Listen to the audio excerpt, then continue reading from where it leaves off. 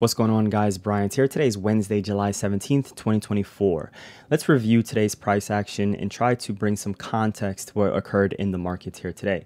We're looking at the SPY. The levels that we see on my chart are the levels that I like to mark off at the start of the week based on the gamma exposure. If you're new to this YouTube channel, I have a playlist in the description down below going over how I like to mark off my gamma exposure levels at the start of the week. And these become the main structure or how I approach trading the market for the week in conjunction with things like support and resistance, trend lines, and, and, your standard technical analysis. If you're curious as to how I get the gamma exposure levels, I'm using Quant Trading App's Advanced Gamma. This is the start of the week here. I like to draw these levels, and then I'm basing it off of the profile that is created from Quant Trading App. So these are the high positive gamma strikes. This is our gamma flip. This is our absolute gamma strike. It creates this profile. As you guys can see here, I'm just using the Monday, Tuesday, Wednesday, Thursday, Friday expiration. I like to run my report right before the market opens at the start of the week. I build out my profile and it has been my structure for how I trade for a little over a year and a half now. It's how I like to prep for the week as well as base a lot of my trading decisions around where is price in relation to these levels. If you've never heard of the gamma flip strike, it is the strike or the area in which if price is above or below, it means this instrument, in this case the markets, the SPY, is in a net positive gamma environment or a net negative gamma environment. So if price is above this strike, we are in positive gamma. If price is below this strike, we are in negative gamma. If price is above this strike, we can expect price action to have less volatility. In other words, price action might be a little bit choppy. We can also expect price to head towards the high positive gamma strikes. So these green strikes that you see on my chart are the high positive gamma strikes, and it's coming straight from these levels right here. This is a high positive gamma, this is a high positive gamma, this is a high positive gamma strike. I like to label my strikes in order of one, two, three. So one being the strike that has the most amount of positive gamma, two the second highest, and three the third highest. And then the same thing for the negative gamma strikes. This right here is the highest negative gamma strike, as it is indicated right here. This would be the second highest negative gamma strike, or this is the second highest negative gamma strike, and the third one, and so forth and that's where these red levels are on my charts. So I also like to indicate where the negative gamma starts. So in this case here, 57, if we head back to this level right here, 57 is where the negative gamma starts popping up. This is where the market started the week. This was the closest strike, which was 62. So I marked off 57. This gray indication right here is letting us know it is the gamma flip. The gamma flip strike tends to act as a very powerful support or resistance level. If price is above it and then it drops down to it, it usually acts as some sort of support as we can see happened here today.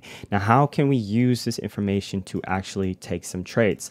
Let's start by understanding the fact that the markets gapped down below the high absolute gamma strike to start the week. So 560, if we scroll down here, 560, this purple line right here with this high purple mountain in the background is letting us know this is the absolute gamma strike like price gapped down below a key strike. On top of that, it broke down below some key structural levels.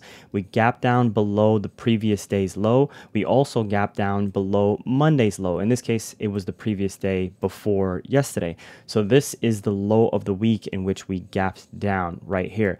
That is significant. That is not the type of price action in which we've been seeing. As we know, the market has been in a very strong uptrend. If we take a look at the daily time frame and we zoom out, we can see we've been in a very strong bull rally. Even as we zoom in right now, we can see that this is a gap right now to the downside. We haven't had many days like this so far this year. So this gap down broke this level, it also broke this level, and today's low punctured this level. That is three key support levels that were broken on a day such as today. Usually, whenever the market gaps down like this, we may see some sort of consolidation during a bull market because bulls are not completely going to just give up on the rally. So that is something to take note of. If we zoom out, we can see on the daily time frame, you guys can go back and check out previous times in which we would have had some sort of significant gap down and then just pay attention to price action and then you can kind of use that kind of information for how you're going to approach the upcoming days. The daily time frame provides a lot of context and a lot of key information for your day trading. So as we can see, this is a strong level right here. If you also use the volume profile, let's zoom out for a second and actually take a look at our volume profile on the ES. This is the week to date volume profile. The link is in the description to this free TOS study. These are these high volume nodes right here that I have highlighted. This is last week's week to date point of control. These are key strikes that were pointed out for those of of you in the Quant Trading App Discord, you're obviously aware of these levels, but I'm providing this information for anyone on YouTube to follow. So this is earlier in the day here, just pointing out, in a sense, what to expect. Price was not looking strong for bulls, so the expectation would be we will probably gravitate towards this demand zone, which we have highlighted, which price had reached. And then the next thing to expect is that price would head down towards this point of control. On top of that, if we look at the NQ, the NQ, which is the NASDAQ futures already broke down below this key demand area. So the expectation would be that we will likely head back down towards this demand area.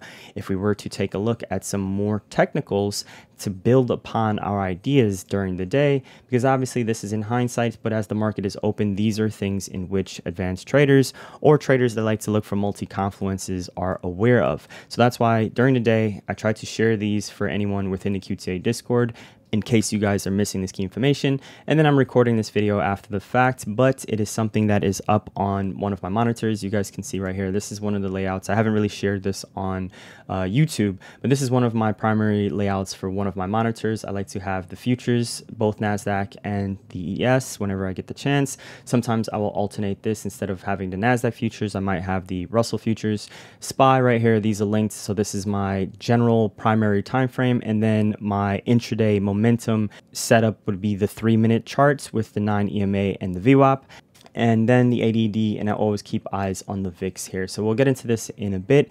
We can actually jump over to the intraday momentum trading setup that I like to use because I know for most of you guys 15 minutes might be too long of a time frame if you're day trading. Let's pay attention to this price action right here. This is the market gapping down below 560. 560 is also a significant gamma level as well as it is a key level with price action. Because even without looking at the options chain and knowing there is a lot of open interest around 560 we can just look at our charts and see that it is an area of interest for a lot of traders this week as it was the low of the week in this area. Price gapping down below that it means support has broken. Price has now gapped down below support. So as it retraced back up to this level it failed to hold over it. This is why I like the 9 EMA for day trading. Let's actually turn off the quant trading app study here so it doesn't get too chaotic. This is our weekly. QTA script for the gold members. I'm going to turn that off and then we can see right here the levels that are on my chart. This is the 9 EMA. This is one of the oldest videos that I have on this YouTube channel. It is still a, an, an amazing layout to have for day traders. The three minute time frame with the 9 EMA and the VWAP. It is probably about as old as a momentum based setup that has existed before I started trading. I'm not the one that created this system for trading. Many traders use the 9 EMA. So it is an exponential moving average set to the time frame of 9 and the candlesticks are set to 3 minutes. Whenever you see this cross right here to the downside, so the 9 EMA crossing down below VWAP, that is an indication of bears are in control. There is a lot of bearish momentum. It works the same way in reverse, which I've done on a few videos in the past. Take, for example, a day such as Monday, price gaps up, it tries to push further. After the early morning session, it pulls back into the 9 EMA. The 9 EMA rises. We break above VWAP, and then we can see momentum carries price to the upside as the 9 EMA acts as a dynamic support. Once the 9 EMA is broken here, and we can see that this is a change in trend, we can then close out our long trade if you are a momentum trader to the upside. The same thing if you are a momentum trader to the downside. It's all about building context as a trader, and the longer you're trading, the more and more you can compound these ideas without it overcomplicating yourself. One trader might not need anything on their chart to be able to understand that we broke below a key level. We broke below support for this week. So if I turned everything off of this chart right here, we just looked at clean price action. And even if I turned off all of the levels and we just took a look at this and we drew this level here and we drew this zone right around here. Actually, let me draw the actual level. So let's just say from here to here, one trader might just have this zone marked off on their chart. Price gaps down below the zone. It tries to get back above it. It can't hold above the zone. It breaks back down below. Once it breaks back down below, we now have another trend that has been broken. So obviously, depending on your time frame, if you dial it into the one minute time frame, there's a ton of patterns that exist right within here. But for the most part, this is an uptrend. We have a low, we have a higher low, and then we have a higher low, and this is where that level gets taken out. So if I were to draw this on my chart, for those of you that are chartists, for those of you that appreciate technicals, right there. So let's zoom back for a second. You guys can see this, I'm gonna make it a little bit thicker. Again, let's make it white. And we can see this is our intraday trend that's forming. So it looks like the market's going higher, it's going higher. Then it breaks down within this zone and aggressive sellers take control.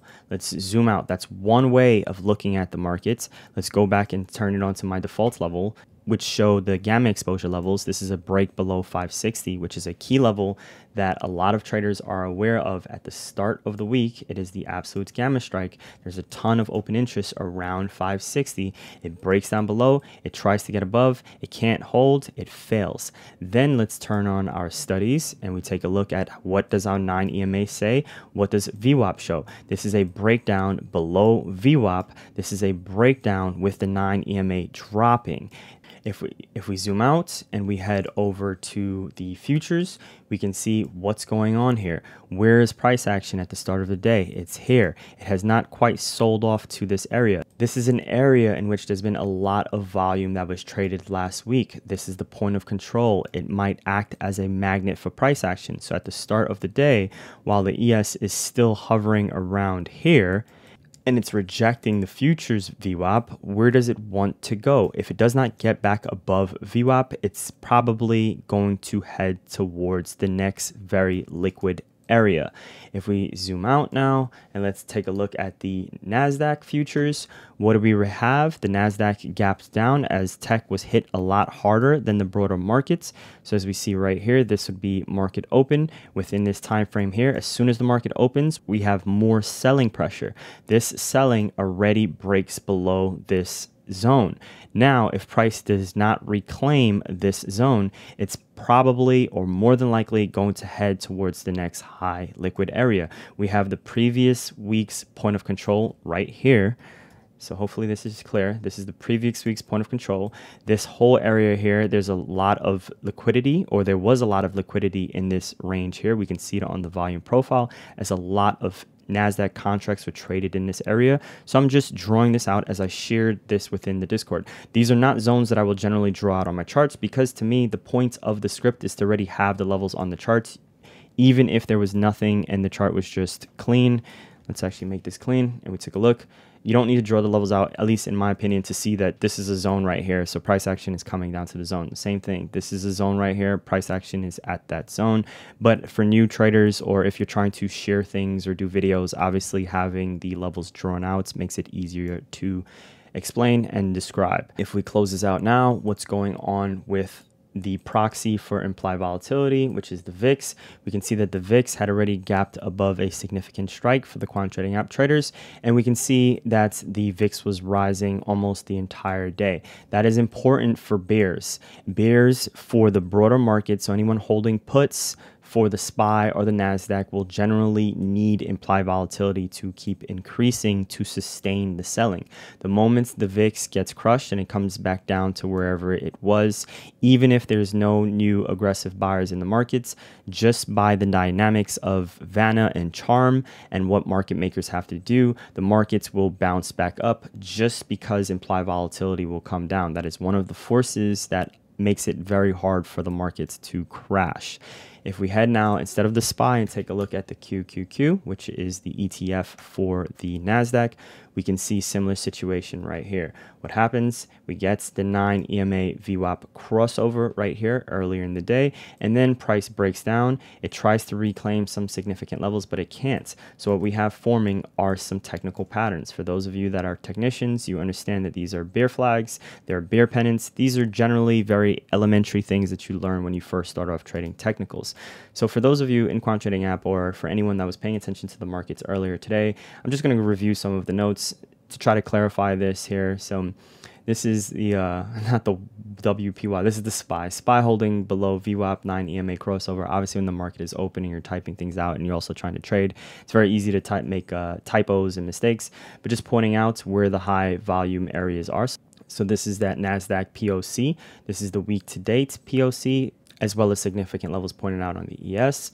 This is the SPY price action, and then this is the bear flag, in which pointing out here. So the combination of this bear flag, this is not an indication or we don't have a strong enough reason to go long. So we're taking a look at this earlier here in the day. Here's our bear flag. If you were thinking about buying the dip, there's not enough evidence to support that this looks like good price action to go long. Yes, we are at the low of day, but if we pay attention to larger context and we see this bear flag as well as as well as what was pointed out in the futures, we have this other zone right below here. Price is probably going to want to continue selling off. The same thing with the SPY at that time. It had not quite reached here. So patience in this case here is what helps to just wait to let price action play out. Now, on top of that, if we head back to the SPY, where can you take a reversion to the mean trade? Well, we already know this key strike, which is 557, which is our gamma flip. The gamma flip acts as a key support. So what do we have later in the day? Just sharing more context for those that are in quant trading app here. We can see as we scroll down, now this is a little bit later in the day, we would expect buyers to show up around the quant trading app intraday zone as it has confluence with the gamma flip strike of 557 from the start of the week and this ES week to date POC. So this is that week to date ESPOC in which I'm referring to. This is our gamma flip, and I'm expecting price to bounce at the intraday zone here because there's enough confluence, there's enough context around ex this expectation. So then just to make it clear, just because you see these doesn't mean you want to blindly buy. So to be a buyer, we would first want to see some sort of capitulation in volume. So maybe a massive spike, something like this. So you see this here, market is selling off early in the day. We see a nice spike in volume. What does it do? It reverts back to the mean, which would be VWAP right here before it gets rejected. So if you're going to take a counter trend trade, and you want it to be a quick reversion, you generally will want to see some sort of spike in volume. This is the three minute time frame you can look for the same thing on the one minute. So in this case here, we want to see a capitulation of volume or wait for price action to show a higher low and reclaim the 9 EMA on the three minute time frame. So this is before it happens, what to expect. This is the area in which we're looking to bounce. This is the quant trading app intraday zone that is created from pre-markets. It is already automatically on a chart. On top of that, the VIX is rising all day. It is confirming the selling pressure. If the VIX is rising, that's not a good sign if you're looking to take a a bounce trade back up in the spot. You want to see the VIX cooling off for a bit, and then you want to see the VIX coming back down. As we continue right along here, let's see what we have. A little bit later in the day, what do we get? Here's our entry. So price hits to the tick. Let's just pull this up right here. Price hits the intraday zone. Buyers are there. We get a break back above the G flip level of 57, price reclaims the 9 EMA. If this is your entry, the safe entry with a stop below of day, your target is going to be VWAP. If you're an aggressive trader and you like to enter closer to support levels, then obviously there was a possibility to enter right as soon as the level is hit. If you're a little bit more passive or conservative trader, this ends up becoming a safer place to get long because price has reclaimed. It has shown that there is some sort of strength. You're entering here, your stop loss below here. If you're day trading, your target is going to be VWAP. If you're buying price below VWAP when it's this far extended below it, you generally want to take that exit here. So it ended up playing out exactly as expected. This does not always happen, but I'm just trying to showcase or share that this is what an experienced trader would be thinking before price gets to a certain place. We can infer, we can read the charts, we can have some sort of idea. There's no way to know what's going to happen next, but sometimes an hour, sometimes two, three hours before price gets to a like location, you can already anticipate what you're going to do. On top of that, this is where the NASDAQ reached. It hit at the top of this zone here. So this is offering some sort of support. But I wanted to let everybody know this is just some support for now because it was still looking pretty heavy. In other words, it doesn't look as if bulls are being very aggressive. And I'm not expecting the NASDAQ to just fly right back up, at least for today. Tomorrow, we'll see what happens. Obviously, we're at the start of uh, earnings season, so anything can happen. So this isn't a trade that I would take, but I was just pointing this out now that we've had this bear flag that formed all day here today. 480 is the next major gamma strike for the NASDAQ, so the expectation might be we head down towards this level. If that does, then the calls targeting back up here will be pretty cheap, and that might be a trade in which I will consider if I see some sort of confluence or confirmation on the chart. Hopefully this helps guys. This is just a standard or general video in which there isn't really much of a structure. I'm just highlighting all of the thoughts or just a handful of the thoughts in which a trader with some experience might be considering or looking at throughout the day. This is our multi-bottom. So now what do we have right here? We have a touch, we have a touch, we have a touch of the zone, touch of the zone. So a multi-bottom support. And this, while price was still all the way back here earlier in the day, even as price was here earlier in the day, the expectation would be that we're probably going to head down to this zone. But if we get down to this zone, the expectation would be it it should not just fly right down below it. It should offer some sort of support, which means you can run something, something like a bull put spread. You can scout back up to VWAP. You can trade the futures. Let's see how much the risk would have been from the future standpoint. So if you're getting long the ES and you're getting long in this area here, because this is our lower day, this is the break back above on the SPY. This is a risk of about five points. And if we were to trade back up to the key strike, on, this is when the SPY hits a VWAP around this area here. This is 10 points. So risking five to make 10. Obviously, if you're in closer to the exact level, a larger return is about 15 points. So if you're risking five points to make 15, that's a decent three to one risk to reward ratio. Moving forward, the futures are more than likely going to be my instrument in which I trade. I like to trade the futures around the general elections. So the closer we get towards elections, I would much rather be trading the futures. Guys, if you enjoyed this video, let me know in the comments down below. Thanks for watching. Subscribe, like it, and share. Take care.